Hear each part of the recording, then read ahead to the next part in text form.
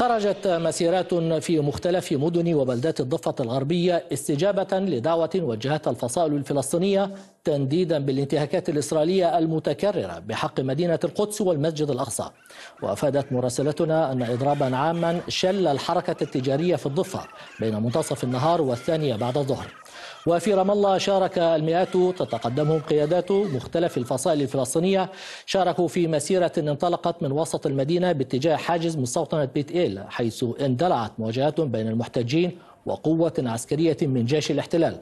وأطلقت قوات الاحتلال قنابل الغاز المسيل للدموع لتفريق المتظاهرين. للاطلاع على التفاصيل معنا مباشرة من رام الله مراسلتنا يارا العملاء يارا كيف هو الحال في الضفة الغربية الآن؟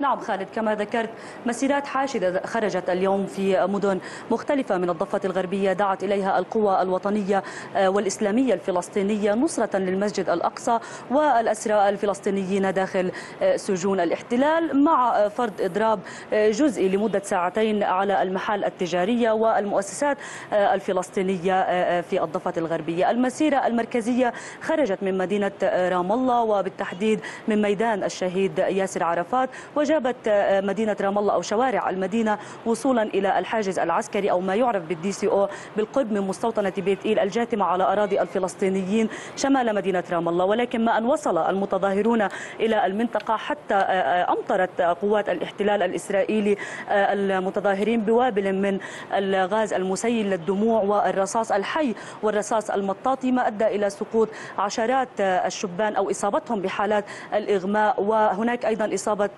شاب بالرصاص الحي وإصابة شبان بالرصاص. عفوا. المطاطي أيضا قوات الاحتلال الإسرائيلي استخدمت هذه المرة سيارة رش المياه العادمة ضد المتظاهرين ما أدى إلى تفريق المظاهرة على الفور. اللافت في هذه المظاهرة أنها كانت موحدة. كل الفصائل كانت مشاركة, مشاركة في هذه المظاهرة ولم يرفع سوى العلم الفلسطيني. ولكن كما ذكرت فرقتها قوات الجيش الإسرائيلي على الفور. أيضا علمت قبل قليل بأن شاب أصيب بالرصاص الحي ولكن ما أن حمله الإسعاف الفلسطيني حتى اعتقلته قوات الجيش الإسرائيلي ونقلته إلى جهة غير معلومة مدن الضفة أيضا كما الحال في مدينة رام الله مدينة جنين ونابلس و نعم.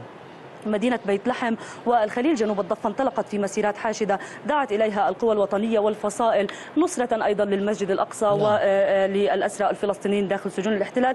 أيضا تعرضوا الشبان للغاز المسيل للدموع والرصاص المطاطي. هذه المسيرات كما ذكرت خالد خالد عفوا خرجت للدفاع عن الفلسطينيين في القدس وما يتعرضون له بشكل يومي ومنذ أسابيع من اعتداءات على يد جيش الاحتلال. شكرا ليارا العملة كنت معنا من رام الله